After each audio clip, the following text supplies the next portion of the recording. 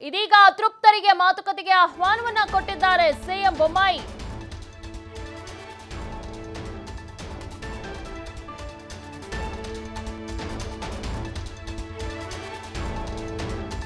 ಬಿಜೆಪಿಯಲ್ಲಿ ಇನ್ನೂ ಬಂಡಾಯದ ಬೆಂಕಿಯ ಆರಿಲ್ಲ ಇದೀಗ ಅತೃಪ್ತರಿಗೆ ಮಾತುಕತೆಗೆ ಆಹ್ವಾನವನ್ನ ಕೊಟ್ಟಿದ್ದಾರೆ ಸಿಎಂ.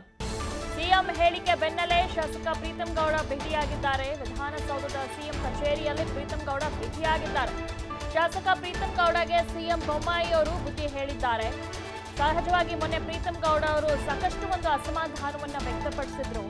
ನನ್ನ ಮೇಲೆ ಯಾರು ಕಲ್ಲು ತೂರಾಟವನ್ನ ಮಾಡಿದ್ರೋ ಅಂತವರ ಮನೆಗೆ ಹೋಗಿದ್ದಾರೆ. ಬೊಮ್ಮಾಯಿ ಅವರು, ಇದು ಎಷ್ಟು ಮಟ್ಟಿಗೆ ಸರಿ? ಚುನಾವಣೆಯಲ್ಲಿ ನಮ್ಮ ಕಾರ್ಯಕರ್ತರು, ಜೆಡಿಎಸ್ ಬೇರೆ ಬೇರೆ ಪಕ್ಷಗಳ ವಿರುದ್ಧ ಹೋರಾಟವನ್ನ ಮಾಡ್ತೀವಿ. ಕಷ್ಟಪಟ್ಟು ಚುನಾವಣೆಯಲ್ಲಿ ಗೆಲ್ಲಿಸಿಕೊಡುವಂತ ಪ್ರಯತ್ನವನ್ನ ನಮ್ಮ ಕಾರ್ಯಕರ್ತರು ಮಾಡ್ತಾರೆ. ಆದರೆ ನಾವು ಹೋಗ್ಬಿಟ್ಟು ವಿರೋಧ ಪಕ್ಷದವರ ಮನೆಗೆ ಹೋಗಿ ಆಶೀರ್ವಾದ ಪಡಿತೀವಿ ಅಂದ್ರೆ ಹೇಗೆ? ಅಂತ ಪ್ರೀತಮ್ ಗೌಡ ಅವರು ಮೊನ್ನೆ ಪ್ರಶ್ನೆ ಮಾಡಿ ಅಸಮಾಧಾನವನ್ನ ವ್ಯಕ್ತಪಡಿಸಿದ್ರು. ನೀವು ನನಗೆ ಸಚಿವ ಸ್ಥಾನ ಕೊಡಿ ಬಿಡಿ, ಅದೆಲ್ಲವೂ ನನಗೆ ಬೇಕಿಲ್ಲ. ಆದರೆ ಈ ರೀತಿ ಮಾಡಬೇಡಿ, ನಮ್ಮ ವಿರೋಧ ಪಕ್ಷದವರು ವಿರೋಧವಾಗಿ ಇರಲಿ. ನಾವು ಅವರ ಮನೆ ಬಾಗಿಲಿಗೆ ಹೋಗೋದು ಬೇಡ. ನಮ್ಮ ಪಕ್ಷವನ್ನ ಒಗ್ಗಟ್ಟಾಗಿ ತೆಗೆದುಕೊಂಡು ಹೋಗೋಣ. ಏನೇ ಸಮಸ್ಯೆ ಇದ್ರೂ ನಮ್ಮ ಪಕ್ಷದಲ್ಲಿ ಬಗೆಹರಿಸಿಕೊಳ್ಳೋಣ. ಮೊದಲು ನಮ್ಮ ಪಕ್ಷದಲ್ಲಿರುವಂತ ನಾಯಕರಿಗೆ ಸಪೋರ್ಟ್ ಮಾಡಿ. ಅಂತ ಏನು ಮೊನ್ನೆ ಪ್ರೀತಮ್ ಗೌಡ ಹೇಳಿದ್ರು. ಅದಕ್ಕೆ ಸಂಬಂಧಪಟ್ಟಂತೆ ಇವತ್ತು ಚರ್ಚೆ ಮಾಡೋದಕ್ಕೆ ಅಂತಾನೆ ಸಿಎಂ ಬೊಮ್ಮಾಯಿ ಅವರನ್ನ ಭೇಟಿ ಮಾಡೋದಕ್ಕೆ ಪ್ರೀತಮ್ ಗೌಡ ಅವರು ಹೋಗಿದ್ದಾರೆ. ವಿಧಾನಸೌಧದ ಸಿಎಂ ಕಚೇರಿಯಲ್ಲಿ ಪ್ರೀತಮ್ ಗೌಡ ಅವರು ಭೇಟಿ ಕೂಡ ಆಗಿದ್ದಾರೆ. ಶಾಸಕ ಪ್ರೀತಮ್ ಗೌಡಗೆ ಸಿಎಂ ಬೊಮ್ಮಾಯಿ ಅವರು ತಿಳಿ ಹೇಳಿಕೆಯನ್ನ ನೀಡಿದ್ದಾರೆ. ಸಚಿವ ಸೋಮಣ್ಣರಿಂದಲೂ ಕೂಡ ಶಾಸಕರಿಗೆ ತಿಳುವಳಿಕೆ ಮಾತುಗಳನ್ನ ಆಡಿದ್ದಾರೆ ಹಿರಿಯರು.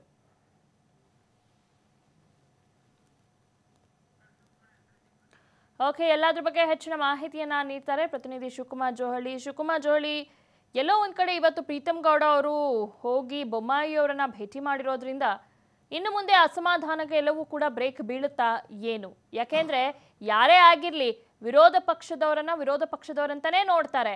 ಪಕ್ಷದಲ್ಲಿರೋ ನಾಯಕರೇ ಹೋಗ್ಬಿಟ್ಟು ಆ ವಿರೋಧ ಪಕ್ಷದವ್ರ ಜೊತೆ ಮಾತಾಡಿದ್ರೆ ಅಥವಾ ಆಶೀರ್ವಾದ ತೆಗೆದುಕೊಂಡ್ರೆ ಯಾರೇ ಆಗಿರಲಿ ಪಕ್ಷದಲ್ಲಿರೋರಿಗೆ ಒಂದು ಮಟ್ಟಿಗೆ ಅಸಮಾಧಾನ ತರೋದು ಸಹಜ ಅಲ್ವಾ? ದಿವ್ಯಾ, ಒಂದು ಕಡೆ ಪ್ರೀತಮ್ ಗೌಡ ಅವ್ರಿಗೆ ಕೊನೆಯ ಕ್ಷಣದವರೆಗೂ ಕೂಡ ಅವರಿಗೆ ಸಚಿವ ಸಂಪುಟದಲ್ಲಿ ಅವಕಾಶ ಸಿಗುತ್ತೆ ಅನ್ನುವಂಥದ್ದಿತ್ತು ಯಾಕೆಂದ್ರೆ ಆ ಪಟ್ಟಿಯಲ್ಲಿ ಕೂಡ ಅವರ ಹೆಸರು ಇತ್ತು. ಆದ್ರೆ ಕೊನೆಯ ಕ್ಷಣದಲ್ಲಿ ಏನು ಬೆಳಗ್ಗೆ ಚೇಂಜ್ ಆಗತ್ತೆ, ಅವರ ಹೆಸರು ಕೂಡ ಚೇಂಜ್ ಆಗತ್ತೆ, ಆ ಜಾಗಕ್ಕೆ ಬೇರೆಯವರಿಗೆ ಅವಕಾಶವನ್ನ ಕಲ್ಪಿಸ್ಬಿಡ್ಲಾಗತ್ತೆ. ಇದು ಪ್ರೀತಮ್ ಗೌಡ ಅವ್ರಿಗೆ ಸಾಕಷ್ಟು ಅಸಮಾಧಾನವನ್ನ ತರುತ್ತೆ. ಯಾಕೆಂದ್ರೆ ಕೊನೆಯ ಕ್ಷಣದವರೆಗೂ ಕೂಡ ಸಂಪುಟಕ್ಕೆ ನನ್ನ ಹೆಸರು ಇತ್ತು.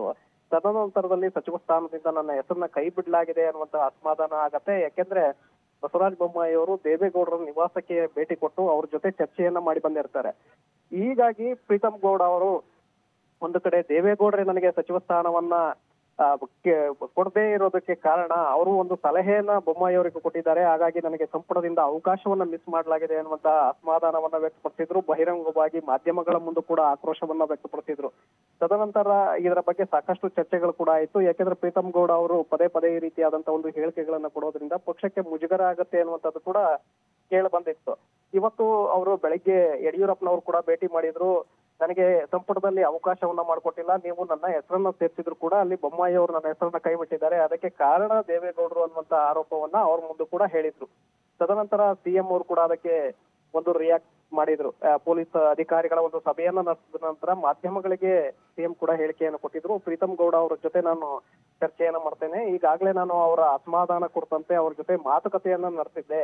ಇನ್ನೊಮ್ಮೆ ನಾನು ಅವ್ರ ಜೊತೆ ಮಾತನಾಡ್ತೇನೆ ಅನ್ನುವಂತ ಹೇಳಿಕೆಯನ್ನ ಕೊಟ್ಟಿದ್ರು.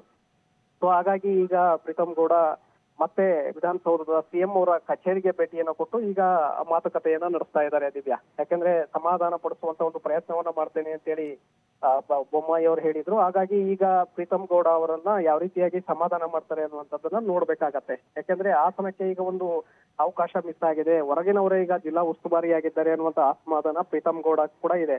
ಯಾಕಂದ್ರೆ ಆಸನದಲ್ಲಿ ಜೆಡಿಎಸ್ ಪ್ರಾಬಲ್ಯ ಇರೋದ್ರಿಂದ ನನಗೆ ಸಚಿವ ಸ್ಥಾನವನ್ನ ಕೊಟ್ಟಿದ್ರೆ ನಾನು ಬಿಜೆಪಿ ಪಕ್ಷವನ್ನ ಅಲ್ಲಿ ಮತ್ತಷ್ಟು ಬಲಗೊಳಿಸ್ತಿದ್ದೆ ಅನ್ನುವಂಥದ್ದು ಪ್ರೀತಮ್ ಗೌಡ ಅವರ ಅಸಮಾಧಾನಕ್ಕೆ ಈಗ ಕಾರಣ ಆಗಿರುವಂತದ್ದು ಇದಕ್ಕೆ ನನಗೆ ಹಿರಿಯರು ಕೂಡ ಸಾಥನ ಕೊಡ್ತಾ ಇಲ್ಲ. ಸಿಎಂ ಅವರು ಕೂಡ ಈಗ ಸಚಿವ ಸ್ಥಾನವನ್ನ ಕೊಡದೆ ನನಗೆ ಮಿಸ್ ಮಾಡಿದ್ದಾರೆ. ಈ ನೋವು ನನ್ನನ್ನ ಕಾಡ್ತಾ ಇದೆ ಅನ್ನುವಂಥದ್ದು ಪ್ರೀತಮ್ ಪ್ರೀತಂ ಗೌಡ ಅವರ ಒಂದು ಅಸಮಾಧಾನಕ್ಕೆ ಕಾರಣ.